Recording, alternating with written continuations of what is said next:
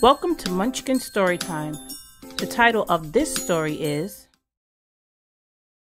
The Amazing Planet Earth.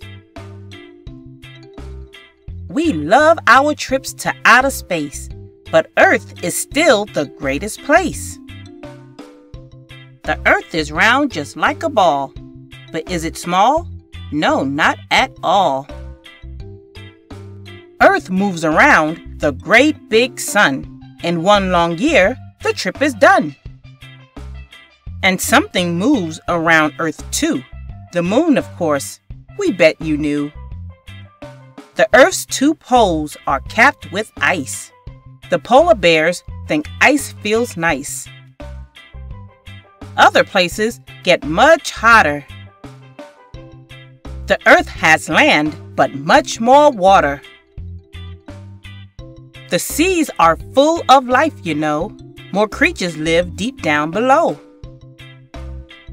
Upon the land and in the air, the earth has creatures everywhere. Just look at all this open land with mountains, streams, and desert sand. Caves that we can all explore. Volcanoes, craters, swamps, and more. The plains are wide, the hills are tall.